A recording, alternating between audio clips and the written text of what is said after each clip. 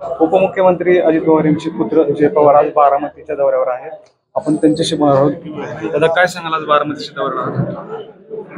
आहात? प्रश्न बारामतीच्या दौऱ्यावर तुम्ही आहात काय सांगाल? बारामतीचा दौरा चालूच आहे. आम्ही पदयात्रा करणारे रॅलीज करणारे आणि लोकांपर्यंत पोच पोचणारे आणि त्यांचे प्रॉब्लेम्स ऐकून घेणारे. दोन कुटुंबामध्ये म्हणजे लढत होती असं म्हणजे बोललं जातं. कसं पाहता इकडे म्हणजे वहिनी उभा राहणार आहेत आणि सुप्रिया सुळे त्यांच्या विरोधात असणार आहेत. कसं पाहता इकडे नाही वहिनींचा अजून उमेदवारी जाहीर नाही झाली आहे.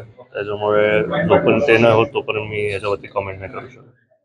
चर्चा आहे की वहिनीलाच उभं करावं? कारण तसा उमेदवारच नाही तसा. त्यांच्या विरोधात बरोबर चर्चा आहे पण जसं मी तुम्हाला आधी बोललो जोपर्यंत उमेदवार जाहीर नाही होत तोपर्यंत मी ह्याच्यावरती कमेंट नाही करू शकत. काल योगेंद्र पवारांनी अं, पक्ष कार्यालयाला भेट दिली. शरद पवार गटाच्या कसं पाहतो तर ज्यांना म्हणजे ज्या लोकांना ज्यांचा प्रचार करायचा असेल ते करणारच. त्याच्यामुळे आपण त्यांना काय बोलू शकत नाही आणि म्हणजे स्वतःचे चॉईसेस असतात आणि तसंच लोकांचं चाललंय. अजित पवारांनी म्हणजे उपमुख्यमंत्र्यांनी सभेमध्ये सांगितलं होतं की मला कुटुंबामध्ये एकटं पाडण्याचा प्रयत्न केला जातोय.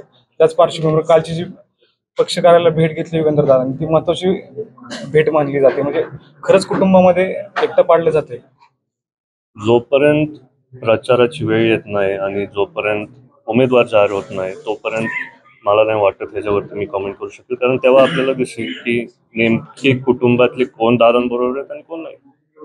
आता कशी तयारी असणार आहे लोकसभेची? म्हणजे काही दिवसावरच लोकसभा निवडणुका काही दिवसावर चालत कशा प्रकारे तुम्ही तयारी तयारी म्हणजे असं तयारीची गरजच नाही कारण दादांचे कामच एवढे अं, म्हणजे त्यांनी पाण्याने केलेत आणि विकासाचे कामं केलेत. त्याच्यामुळे तयारीचं आम्ही स्वतः जसं भेटी गाठी चालू आहेत तशीच असणार आहेत. आता तरी जोपर्यंत प्रचार चालू आहे येऊ त्या आपल्या बरोबर जय पवार. दीपक पडकर मटा ऑनलाईन बारा